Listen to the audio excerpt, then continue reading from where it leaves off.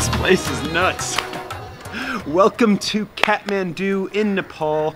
I am here to do the Annapurna Base Camp trek and this is my day one video, which today was essentially the day that we had to go out, buy gear, get everything situated and ready to go for the trek because we are leaving tomorrow. I figured in this video what I really want to show you is kind of like what I'm bringing on the trek and then at the end it'll it'll be interesting to see how everything went. This is my first time going on any sort of long, more than honestly two-day hiking trip, uh, hiking, camping, backpacking trip.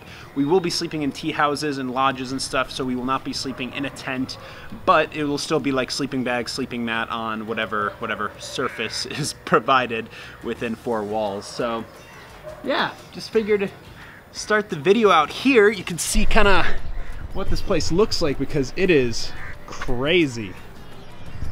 I mean, frankly, I've never seen anything like this place before. Uh, ah, I love the birds. the birds are so good. But yeah, I mean, check it out. It's nuts. And honestly, this whole place, I would say, is controlled chaos at its best. I mean, you're going through some of these intersections and there's just traffic going every direction which way. I mean, there's no real rules it seems, so you just kind of you just kind of walk. but yeah, um, let's go into my room and take a look at the gear.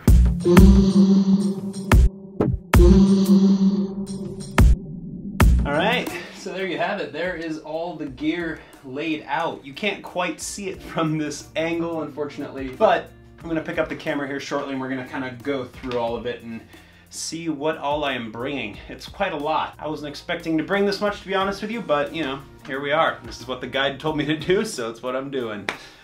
But yeah, so basically how today went. So this morning I got picked up by my guide, Anil, like 11 o'clock, and we went out to go shopping for the last few things that I needed, like gaiters and a backpack cover, and most importantly, boots. Now I know that, I know that you're probably like, Victor, you can't buy boots right before a nine day trek and then just like expect to be okay.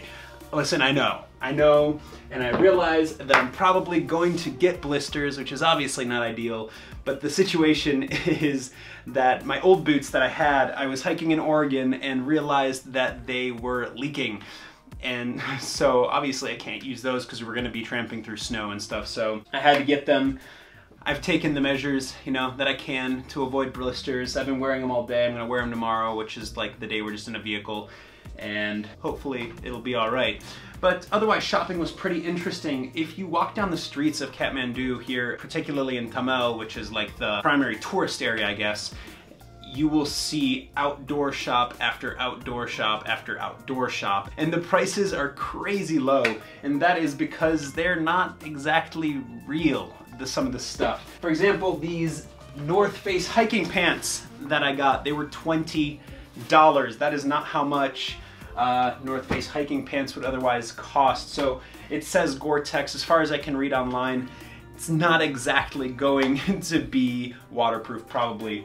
So basically the advice that I got online and the advice that I followed was that anything crucial, for example boots, you go to one of the few actual retail stores. So North Face and Mountain Hardwear and Outdoor Research, those stores actually have actual stores here, so the prices are a lot more, but that's because it's real, actual high quality gear as opposed to some of this other stuff. But some of the other more like non-essential stuff, like hiking pants, because I have I have a myriad of pants to wear, um, it's not as big of a deal. You know, you can get a good deal on something that's gonna gonna last through the trek and hopefully a little bit longer.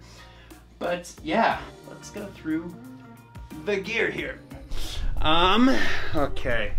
So first up, there is my backpack. It is a Kelty 65 liter pack. I have traveled the world with this thing, and it, it, I'm, I'm amazed at how well it's holding up. It's still kicking. I mean, there's a, there's a buckle missing and some of the mesh on the side is ripped, but you know what? It's still going. But then after that, here is the more heavy duty clothing. So those are snow pants for when we get up high and into the snow and a winter coat and then a down mid layer. We'll see if I have to use all of them. I'm I'm not convinced. But then next up we have boots, neck gaiter, thin gloves, thick gloves, and then these little guys. I always see them in mountaineering videos. It's the it's the down like little booties for camp. I saw them. I had to get them. Maybe unnecessary, but who knows? Maybe I'll love them. After, you know, eight hours of hiking in brand new blister inducing boots, maybe I'll uh, really, really love them. So, yeah, next up we have trekking poles. Really important for me because my knee's giving me problems, but that'll be that'll be okay. Sleeping bag, of course, an 850 fill by Patagonia as well as a Thermarest sleeping pad. Underneath there we have all my rain gear, so that is rain pants and a raincoat. Next to it we've got my gaiters, so that's you know for the snow and everything. A dry bag for if it does start raining, and this non-brand name backpack cover that I bought because I left mine at home. If that fails, then I can still put important things in this dry bag. That's medicine and band-aids, basically my little first aid kit. It's got ibuprofen and Imodium and all those kinds of things. And then moving on, we've got my knee wrap as well as some duct tape. That's for the blisters. And then of course, let's see here. These are sunglasses, prescription, which are great. These are my hiking glasses. I don't wear these hiking because they're one, too nice, and two, you know, they, they slip a lot. So I wear those. This is a microfiber towel, hand warmers, foot warmers, carabiner for whatever I might need it for, and uh, sunscreen. And then there's a headlamp, over back there is underwear and socks. I have more socks, but it's currently in laundry, so I'm gonna go pick that up shortly here. So I will have more than two pairs of socks, which is good.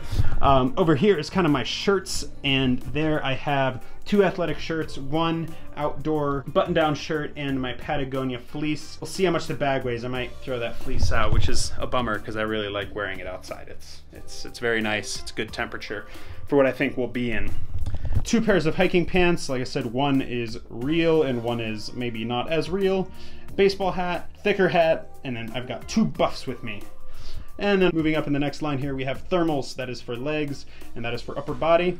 This is a life straw. So I've never used one of these before, but I've seen people here in Asia using them. Theoretically, it's a filter system, so you don't have to boil water, you don't have to um, use tablets or anything else. It filters everything out and you can just drink the water. And I mean, I've seen people drinking tap water in like the Philippines and stuff with these, so yeah, I don't know. The store told me it works for anything I'll be encountering, so hopefully they're right.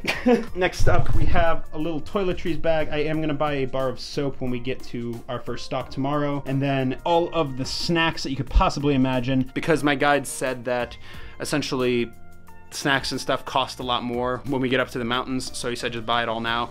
Personally, it seems like a lot of weight to be carrying when I could be buying other stuff, but he knows best, so I am following his directions. And then, of course, toilet paper because we might not have toilet paper everywhere. And then this is all the camera gear and tech that's coming with me. So this is my Sony a6500 that I'm filming on right now. I will not be carrying this with me because I can't carry every camera even though I want to. So I'm bringing the essentials. I've got my Canon 6D right there. That is, you know, my big photography camera. I definitely want that because it takes incredible photos. Right there is actually the drone. That's just a case to carry that camera, so that there's nothing else in there. There's the drone, and then down here is my point and shoot. So that is a Sony RX100, and that is what I will be using to make my videos.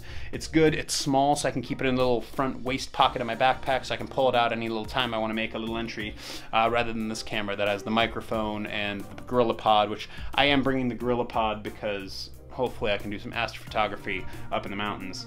And then yeah, aside from that, bag full of memory cards, charging cables and such, and then one of the brick uh, charging power banks. But this right here is all my gear. It's a lot. So hopefully it's not gonna be too heavy. I am interested to see what it is all going to weigh when I pack it up. And yeah, let's, uh, let's actually go ahead and do that.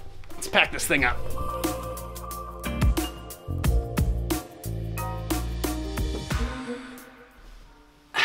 All right. There she is, all packed up and ready to go. Yeah, sorry I had to cut the time lapse there a little bit. I, I actually ended up spending some more time thinking and getting in touch with my guide because I had a couple questions and you know, so I, I had to figure some things out. But eventually, after after a bunch of time, I've got everything sorted out. So yeah, that's what I'm carrying. That's what I'm wearing tomorrow. Here are my boots, and I'm ready to go. But yeah, cool. Let's uh, go back up to the roof because I want to talk about a couple more things before we end this video.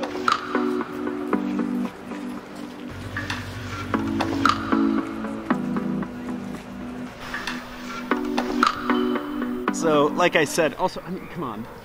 Come on, right? Unreal.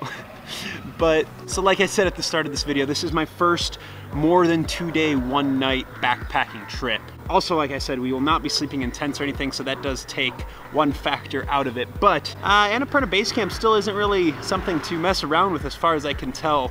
They say that the trail isn't too crazy up and down, so it's relatively straightforward, but still, it's, it's quite a few days, and um, yeah, I, I don't know exactly what kind of gear that I need, you know, personally and stuff. So that's that's why I'm frankly just listening to the guide with everything because he's done this quite a few times, and if he says something is necessary, that's why I'm bringing all of that stuff. Maybe I won't even need it all. Who knows?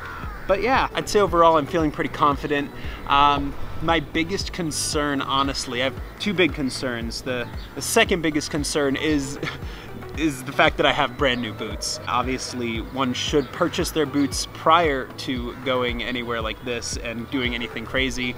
So, you know, I'm, I'm, doing what I can. I'm wearing them right now, and I'm wearing them as much as I can so that I can try to break them in at least a little bit, and then I have, I have some stuff to fight the blisters as well.